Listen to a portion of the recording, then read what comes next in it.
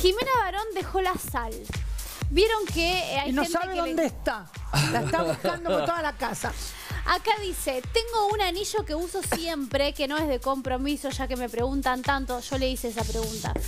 Que me baila, ahora me queda grande, claro, se dio cuenta por el anillo, así que recomiendo probar, aflojarle a la sal y comprobar los resultados ustedes mismas con algún anillo que No, tenga. lo que adelgazás, lo bien que te hace, porque eh, la sal eh, no, no- no es buena. Sí, se puede usar, pero no tanto.